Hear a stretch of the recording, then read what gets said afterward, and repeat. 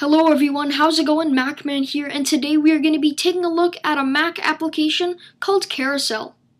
Now, if you have an Instagram account, you may be wanting a way to view your Instagram pictures right on your desktop. Well, this app allows you to do so.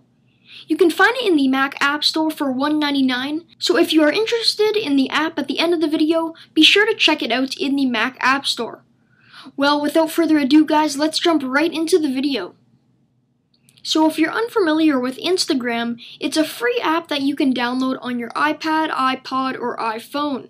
It allows you to take pictures of whatever you're doing and share them with your friends and family. Now the only issue is with this is there's no app for the Mac.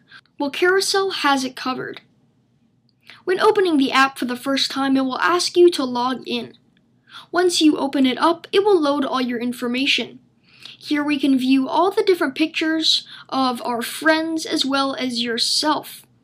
As we can see, we have some nice little backgrounds as well as some borders. I love the simplicity of the application and I can simply put it to the side of my screen so I can view it while I'm also browsing on the internet. On the bottom we can find our different panels. Here we have our home panel. We can also view popular images Next, we have our profile. Then we have our favorited, and we can also search. If we find an image we like from our friends, we can favorite it as well as comment on it. If you'd like to view the picture bigger, simply double click on the image and it will load a larger preview window.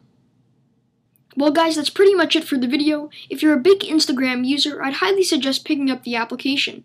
For $1.99, I find it's a fair deal to stay connected with Instagram on your Mac.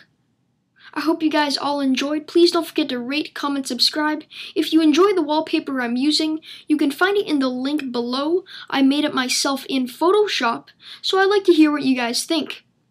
Once again, thank you very much for watching, and I'll catch you all next time.